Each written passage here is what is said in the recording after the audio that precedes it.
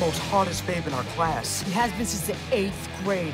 She's hotter than the center, the most glorious firework exploding in the 4th of July night sky.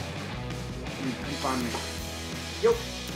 Well, dude, Clark's gone. Now's the perfect time to talk to her. Are you crazy? I'll smash me. Now's your chance. You can do it. Carrie! What? I'm Payton. I've always been a dork. I've always been more interested in comic books than in sports. And despite how hard my dad tried to make me one, I've never been a jock. Ow. My comic book starts here. See that handsome devil? Yeah, that's me. And next to me, that's the girl I'm gonna marry someday. Carrie Smith. She was perfect. The Mary Jane to my Spider-Man, the Lois Lane to my Clark Kent, the princess to my Mario. Of course, there's always something in the way. Something called Clark Hayes.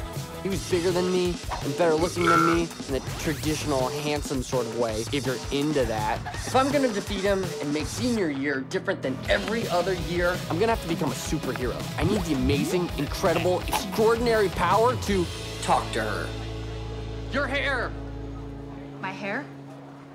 Your light looks very beautiful in that hair. What?